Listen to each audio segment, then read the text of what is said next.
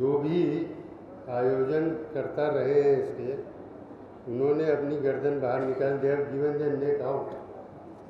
Now with this kind of response they can not pull back their neck हाँ वो अपनी गर्दन बचा नहीं सकते। अब कटना तो पड़ेगा ही। हलाल होना ही होना है। और हलाल होने के अंदा, अंदेशे में हम लोगों ने, कुछ लोगों ने बैठ के सिर्फ़ साढ़े तीन सौ शब्दों का एक प्रस्ताव तैयार किया है।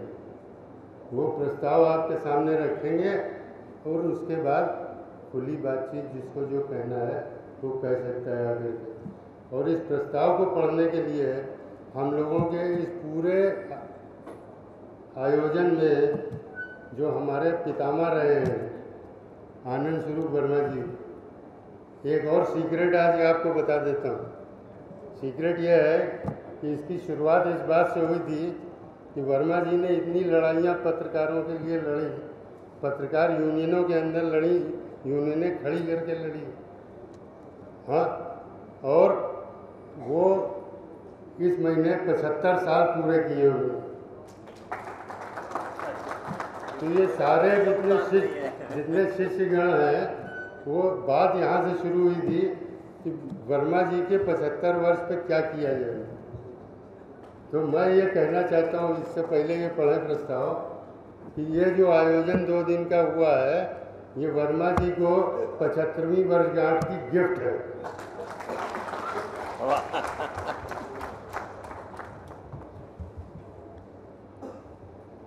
असल में उम्र के बढ़ने में मेरा तो कोई योगदान है नहीं। वो तो अगर मैं कुछ ना भी करूँ तब भी पचहत्तर साल का हो ही जाता। ये प्रस्ताव पढ़ना है उससे पहले एक दो बातें अनिल जी मैं कहना चाहता हूँ। कल जब पहला सेशन खत्म हुआ तो उसके बाद मैं वहाँ गया तो मुझे बहुत सारे मित्र दिखाई दे रहे थे। मैंने कहा मिल लो। तो उसमें एक पत्रकार मिले जो आप कोई भी चैनल खोलिएगा तो वो वहाँ दिखाई दे जाते हैं मतलब होते हैं हुँ? तो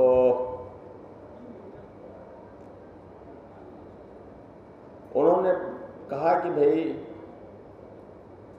आइडेंटिफाई करते समय ध्यान रखिएगा आप लोग मैंने जो बात कही थी कि आइडेंटिफाई करना चाहिए ऐसे पत्रकारों को भी, जो जन विरोधी हैं। तो मेरा सीधा मतलब था कि जो सचमुच जन विरोधी हैं, ऐसा थोड़ी कि जो भी पत्रकार है, उसको आइडेंटिफाई करना है। फिर मैं बाहर निकला तो एक सज्जन किसी दूसरे से कह रहे थे कि बहुत पैसा खर्च किया है इन सबों ने। तो कुछ लोग इसलिए भी आए थे, जो देखना चाह रहे थे कि क्या हो रहा है। मंगलेश जी हैं कि नहीं हाल में? दूसरी घटना मैं बता रहा हूँ, इसलिए मैंने मंगलेश जी का नाम लिया। ये अवार्ड वापसी वाली जो घटना थी तो उसकी शुरुआत यूँ हुई थी कि अभिषेक श्रीवास्तव ने जब कलबुर्गी की हत्या हुई उसके बाद अभिषेक जी ने उदय प्रकाश को फ़ोन पर बातचीत करते हुए कहा कि क्यों ना आप कलबुर्गी की हत्या के विरोध में अपना अवार्ड वापस कर दीजिए साहित्य अकादमी का। तो उदय प्रकाश ने कहा कि अरे नहीं यार, ये क्या बात कर रहे हो? तो कहा, नहीं, मैं सीरियसली कह रहा हूँ, आप सोचिए, विरोध व्यक्त करने का एक तरीका होगा। क्योंकि साहित्य अकादमी संस्था से अभी तक कोई विरोध नहीं हुआ, जबकि कल बुर्गी साहित्य अकादमी के फेलो थे।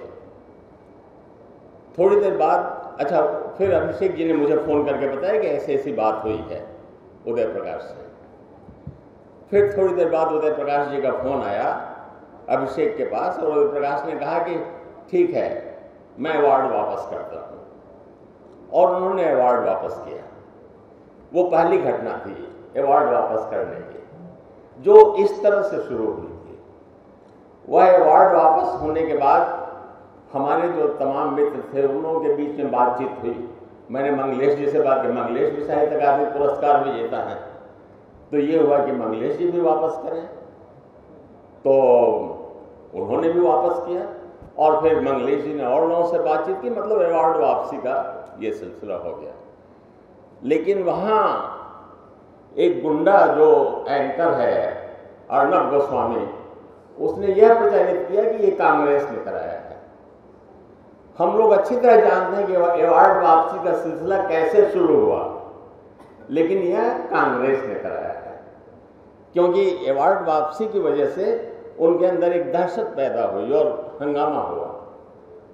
तो मैं ये इसलिए बता रहा हूँ कि हो सकता है कि आने वाले दिनों में बहुत सारे लोग, बहुत सारी बातें इस कॉन्फ्रेंस के बारे में भी प्रचारित करें इसलिए मैंने इस घटना को बताया, अवार्ड वापसी से जोड़ते हुए। पिछला सत्र जो था, जो इस आयोजन का आखिरी सत्र था, वह थोड़ा सा दुर्भाग्यपूर्ण होते होते रह गया। अगर हरतोष जी नहीं होते तो बहुत निराशा होती। हरतोष बल ने उसको संभाल लिया। और मैं तो बहुत ही निराश हो गया था कि ये हो क्या रहा है। हम सब लोग जानते हैं, हम लड़ चुके हैं डिक्टेटरशिप से। हम सेंसरशिप से लड़ चुके हैं। हमें पता है 75 में हम लोग बच्चे नहीं थे, हम लोग एक्टिव जर्नलिस्ट थे। जब इमरजेंसी लगी थी। और इमरजेंसी जब नहीं लगी थी, उस समय तक इमरजेंसी के बारे में नहीं पता था कि इमरजेंसी क्या होती है। लगता था कुछ होती होगी। तो इमरजेंसी जब लगी तो हम लोग कहने लगे तो एकदम फासिज्म आ गया। क्योंकि फासिज्म के बारे में उस समय तक नहीं पता था कि फासिज्म क्या होता है। तो जहाँ भी जब डिक्टेटरशिप होती थी तो वो हमें फासिज्म लगता था। अब आज पता चल रहा है कि अरे, वो डिक्टेटरशिप थी। फासिज्म तो ये है। यानी फासिज्म और डिक्टेटरशिप का फ़र्क। ये अब समझ में आया है। नहीं तो फासिज्म, किसी भी डिक्टेटरशिप कह देते कि सरकार फासिस्ट हो गई है या फासिज्म आ गया है। लेकिन अब आज लग रहा है कि अच्छा फासिज्म ये है, जिसमें ज़रूरी नहीं कि घर के बाहर आपको गिरफ़्तार करने पुलिस जाए, वो एक मॉब होगी, पीछे से कहीं पुलिस का समर्थन होगा, वो माँ भी आपको मार करके ख़त्म कर देगी। ये फासिज्म है। तो ये सब फ़र्क तो हम लोग भी समझते थे। उसके बाद अगर कोई कह रहा है कि 2014 में कुछ नहीं बदला है तो अगर वो कह रहा है तो या तो उसका दिमाग खराब है या उसने वह एकदम अपोलिटिकल हो गया है। अब मैं उस प्रस्ताव को पढ़ता हूँ जो हम लोग पढ़ना है। बड़ा डॉट कॉम हो गया पढ़िए।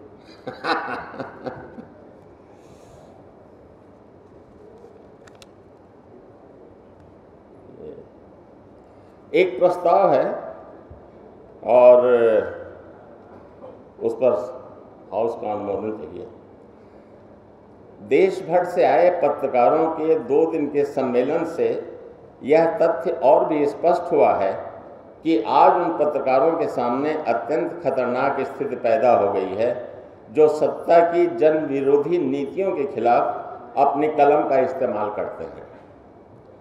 इस तरह के पत्रकारों की हत्याएँ हुई, उन पर हमले हुए और सरकारी तंत्र द्वारा उन्हें तरह तरह से प्रताड़ित किया गया है।